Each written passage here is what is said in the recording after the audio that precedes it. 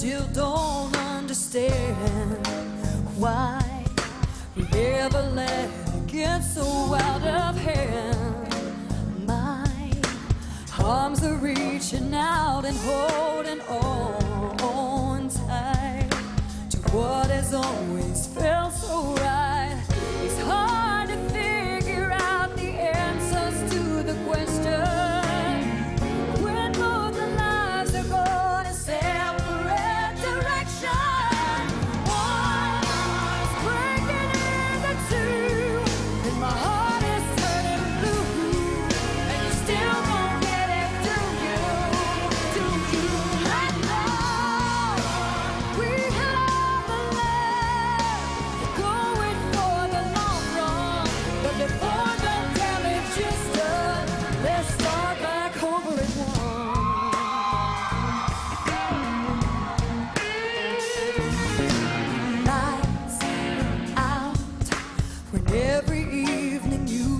it's so hard now.